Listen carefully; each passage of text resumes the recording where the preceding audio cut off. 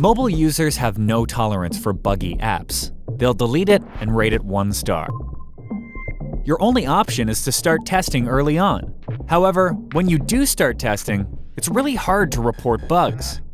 And when reported, it's usually incomplete and lacks context.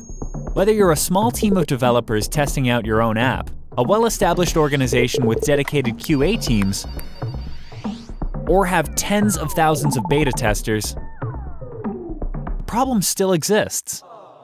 Here comes Instabug, the world's ultimate bug reporting SDK. Users can easily submit bug reports through screenshots and video recordings with all kinds of logs, device details, and most importantly, repro steps.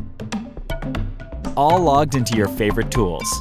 In case your app crashes, details instantly flow to your dashboard, so you can start solving before anyone starts asking. Now you'll have a faster product development cycle, which means faster iterations, spending less time tracing and fixing weird bugs, and more time building your app.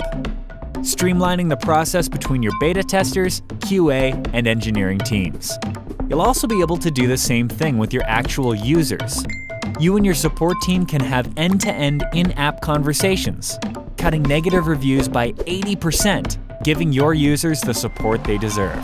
Join over 15,000 apps that use Instabug for squashing bugs and building better apps. Install our SDK with just one line of code and start using Instabug for free.